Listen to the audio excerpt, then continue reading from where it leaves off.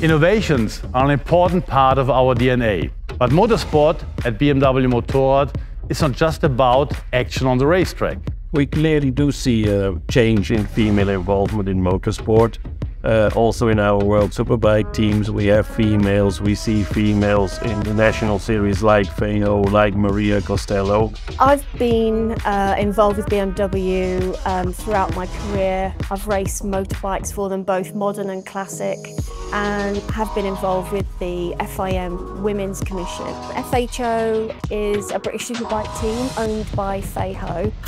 2021 is when I set up my own team having been asked by BMW to be the UK factory supported team for British Superbikes and the roads, it's a fantastic honour for myself and I just can't wait for the season to start really.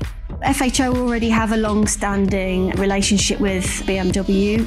We've got Kate Walker joining the girls team and she's going to be running in the new class, which is the F900 BMW One Make series.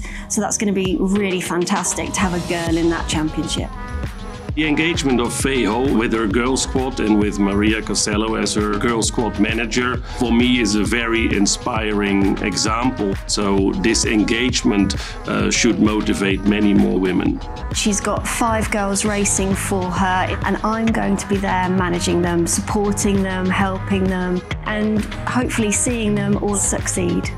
I can see the difference in them. They're very determined and they want to get to the top.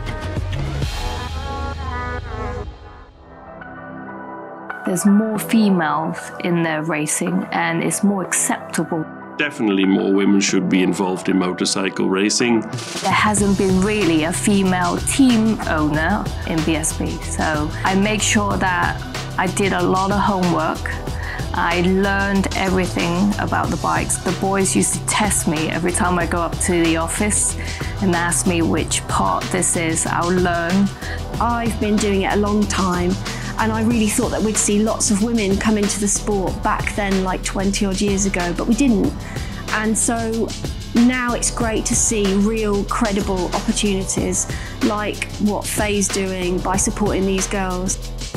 It's an inspiring environment. We try to inspire the women to take part and to be active in the sport, and we offer a good platform for that. BMW are just really proactive when it comes to getting women into motorcycle racing, supporting them, providing bikes for our training schools. They were very proactive with the FIM Women's Commission. The advice I would give to young female generations interested in motorsport is never give up and never stop challenging. You can beat the boys. If you found your passion and this is what you love and this is what you want to do, you've got to go all in work hard, be dedicated, look to your peers, go for it. Women are on the rise in motorsport. BMW Motorrad supports them in many different ways. We support them by camps in which they can obtain their license very quickly. There's easy courses that you can take in seven days. So if anybody wants to actually, you know, take up riding, I really recommend to look into it and see what BMW Motorrad has to offer. I'm so excited about this role that I've got with the team. It's taken a bit of time, but the changes are coming. The future of motorsport, in my opinion, is very bright. If I look at our brand BMW Motorrad, the motorsport has been in our DNA for the last hundred years and it will continue to be in our DNA and we will do everything to support it.